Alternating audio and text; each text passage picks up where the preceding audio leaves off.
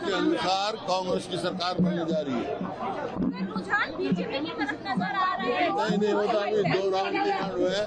वो जितने रिपोर्ट जाती है उतना सारा जो खबर आई है कांग्रेस की बहुमत आ रही है। दस साल के बाद क्या कांग्रेस पार्टी उत्तर भारत में वापसी कर रही है? दस साल के बाद? हाँ।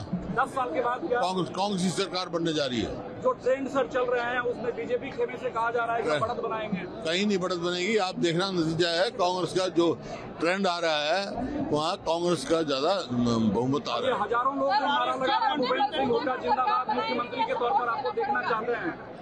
ये पार्टी फैसला करती है।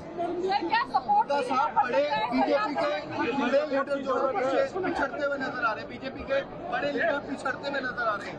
कांग्रेस की सरकार बनने जा रही है भाई। सर आपको किसी अलायंस की ज़रूरत पड़ेगी या कांग्रेस एबल टू यानी कांग्रेस अपनी मेजोरिटी लाएगी?